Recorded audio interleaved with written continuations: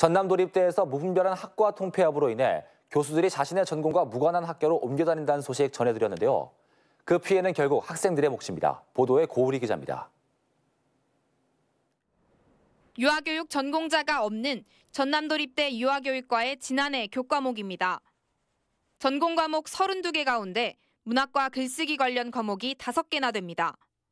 교육부가 정한 필수 과목은 아동 문학교육분, 다른 전문대는 문학과 글쓰기 과목이 한두 개인데 반해 도립대만 비정상적으로 많습니다.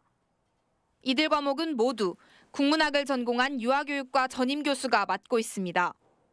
교수의 전공에 맞춰 교육부 정책과 어긋나는 과목을 개설하기도 했습니다.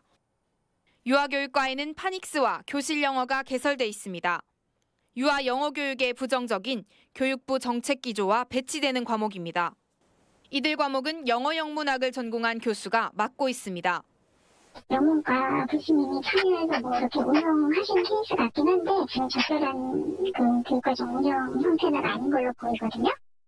다른 학과도 마찬가지입니다. 아동미술 상담 보육과엔 캐릭터 개발 실무 등의 과목이 개설됐습니다. 아동미술과는 거리가 먼 과목들입니다. 아동미술 상담 보육과의 유일한 전임 교수가 산업 디자인 전공자이기 때문인 것으로 보입니다.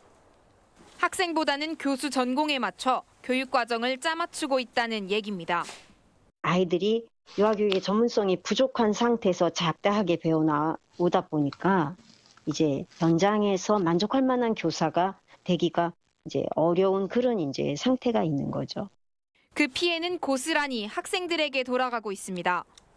지난해 전남도립대의 취업률은 60.5%로 광주 전남 전문대 가운데 가장 낮았습니다.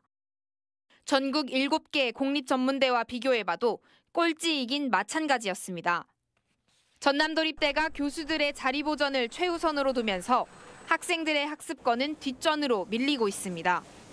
KBC 고울입니다.